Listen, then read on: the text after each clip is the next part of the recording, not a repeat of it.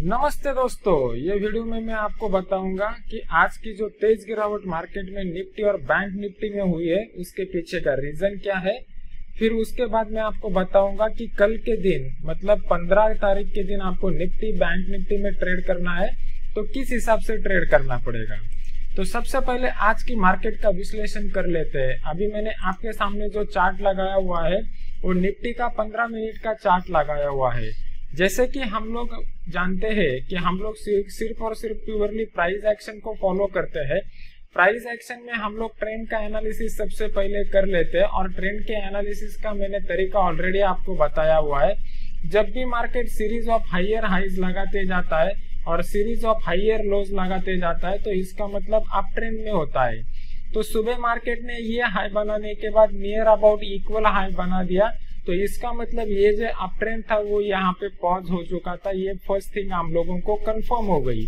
फिर उसके बाद मार्केट ने ये जो लो बनाया हुआ था, ये लो को मार्केट ने ब्रेक करने के बाद यहाँ पे एक बात कंफर्म हो गई कि मार्केट में अभी अप ट्रेंड जो है वो खत्म हो चुका है और यहाँ से मार्केट में डाउन ट्रेंड चालू हो चुका है। लेकिन इसके बाद आपको किस तरीके से ट्रेड करना चाहिए? हम आप ट्रेंड है मतलब इमीडिएट कहीं पे भी आपको बाय नहीं करना है और डाउन ट्रेंड है इसका मतलब कहीं पे भी हम लोगों को सेल नहीं करना है। आपको प्रॉपरली लेवल आइडेंटिफाई करना है और लेवल आपको प्राइस एक्शन के हिसाब से आइडेंटिफाई करना है और ऑप्शन चेन के हिसाब से उसका कंफर्मेशन लेना है। जैसे कि बैंक निफ्टी में हम लोगों ने किया हुआ था। बैंक निफ्टी का अगर चार्ट आप खोलते हो तो बैंक निफ्टी में आपको क्लियर कट दिखाई दे रहा है। मैंने फ्राइडे के दिन जो वीडियो लगाया हुआ था वीडियो में मैंने क्लियर कट बोला हुआ था कि बैंक निफ्टी में जो है वो बैंक निफ्टी में प्राइस एक्शन के हिसाब से क्लियर कट डाउन ट्रेंड बना हुआ है। और इसके पीछे का मैंने कंप्लीट रीजनिंग भी करके आपको बताया हुआ था कि मार्केट जो है वो सीरीज़ ऑफ़ लोअर हाइज बनाते जा रहा है और सीरीज़ ऑफ़ लोअर लोज बनाते जा रहा है तो डाउन ट्रेंड कंफर्म है। और ये डाउन ट्रेंड कंफर्म होता है तो जब भी मार्केट ये इम्पोर्टेंट लेवल के करीब आता है तो इम्पोर्टेंट लेवल के करीब आ जाने के बाद यहाँ पे आप सेल का पोजीशन इनिशिएट कर सकते हो। अभी आपको लगेगा कि मैं मार्केट खत्म हो जाने के बाद बता रहा हूँ कि सेल का पोजीशन इनिशिएट कर सकते हो। ऐसा नहीं है दोस्तों, मैंने ऑलरेडी लाइव मार्केट में सेल का सिग्नल भी दे दिया था। मैं आपको इसका प्रूफ भी दिखा देता हूँ। आपके सामने ये टेलीग्राम का चैनल मैंने खोला हुआ है। ये टेलीग्राम के चैनल में आप देख सकते हो कि सुबह नौ बजकर बाईस मिनट पर ही मैंने बैंक निफ्टी में सेल का सिग्नल ऑलरेडी दे दिया था। ये लाइव मार्केट के स्क्रीनशॉट है। ऑलरेडी मैंने नौ बजकर बाईस मिनट पर सेल का सिग्नल दे दिया था और वो नौ बजकर बत्तीस मिनट पर एक्टिवेट हुआ था। मतलब दस मिनट सफिशियंट टाइम मिला था लोगों को ऑर्डर पंच करने के लिए। तो यहाँ पे सेल का ऑलरेडी कंफर्मेशन प्राइस एक्शन के हिसाब से हमें मिल चुका था। तो बीच में मार्केट में ये जो भारी गिरावट आई, ये प्योरली और प्योरली प्राइस एक्शन के हिसाब से आई हुई है। मैंने जब गिरावट आना स्टार्ट हुआ था, यहाँ पे आप देख सकते हो, जब निफ्टी में ये तेज गिरावट आना स्टार्ट हुआ था दो बारह बजकर पंद्रह बीस मिनट के बाद तो मैंने सबसे पहले क्या किया, सबसे पहले मैंने डाउ जोन्स पे जाके देखा। कि अमेरिकी मार्केट में कोई तेज गिरावट आ रही है क्या? तो वो टाइम पे यहाँ पे कोई भी ज़्यादा तेज गिरावट नहीं थी। फिर बाद में क्या हो गया? बाद में एक समय ऐसा आया था कि ये लेवल पे अमेरिकी मार्केट सपोर्ट ले रहे थे डाउजोन सपोर्ट ले रहा था। तो हम लोगों ने वहाँ पे बाय का भी ट्रेड किया था और बाय के ट्रेड में भी हम लोगों ने अच्छा खासा मुनाफा कमाया हुआ है। यहाँ पे आपको वो भी दिखाई दे सकता है कि निफ्टी के बाय के ट्रेड में भी हमें प्रॉफिट मिला हुआ है। तो इसी तरीके से आपको काम करना है। जब भी मार्केट इंपॉर्टेंट लेवल के करीब आता है, तभी आपको ट्रेड करना है। उसी के साथ अभी देख लेते हैं कि कल के दिन मार्केट में किस तरीके से एनालिसिस करना है। तो यहाँ पे अगर आप देखोगे तो निफ्टी का मैंने आपके सामने डेली का चार्ट लगाया हुआ है। ये डेली के चार्ट में आप देखते हो तो आपको यहाँ पे क्लियर कर दिखाई दे रहा है कि मार्केट जो है वो सीरीज़ ऑफ़ हाइयर हाइज और हाइयर लोज बनाते जा रहा था। फिर उसके बाद क्या हो गया ये हाई के बाद मार्केट ने ये हाई बनाया और ये हाई बनाया। मतलब ऑलमोस्ट इक्वल हाई बना दिए है। और लो अगर आप देखते हो तो लो लोअर लोज मार्केट बना चुका है।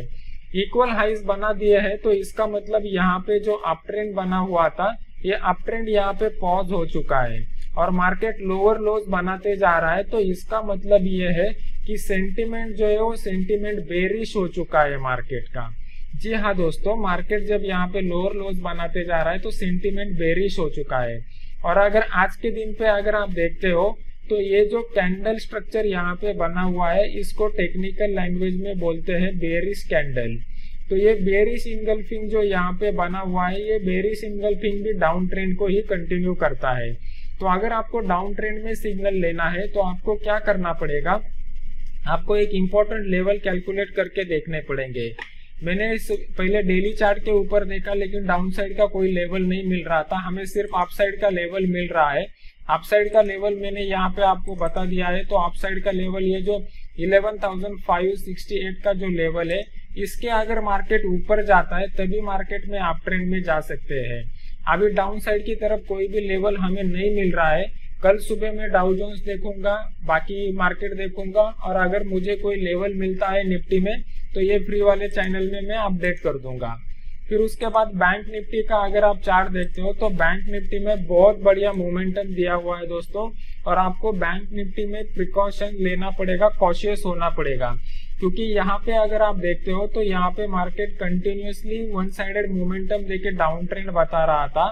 और डाउन ट्रेंड के बाद मार्केट एक कंसोलिडेशन की फ़ेज़ में गया हुआ था। और ये कंसोलिडेशन के फ़ेज़ को मार्केट आज ब्रेक कर रहा है। मैंने ऑलरेडी दोस्तों आपको बहुत बार सिखाया हुआ है, ये कौन सा पैटर्न है? यहाँ पे पोल बना हुआ है और ये एक टाइप का फ्लैग बना हुआ है। तो ये flag with the pole pattern जो रहता है, वो ट्रेंड कंटिन्यूएशन का पैटर्न है। ट्रेंड कंटिन्यूएशन का मतलब ये होता है कि ये स्ट्रक्चर बनने से पहले जो ट्रेंड मार्केट में बना रहता है, वही ट्रेंड आगे जाके कंटिन्यू होता है। अगर आज का कंसोलिडेटेड क्लोजिंग ये लेवल के नीचे आता है, मैं आपको लेवल भी बता देता हूँ कि कौन सा लेवल है। ये अभी लाइव मार्केट चालू है और वही पे मैं वीडियो बना रहा हूँ तो आज का कंसोलिडेटेड क्लोजिंग अगर बाईस हज़ार अस्सी के नीचे आता है तो मार्केट में तेज गिरावट आने की संभावना है।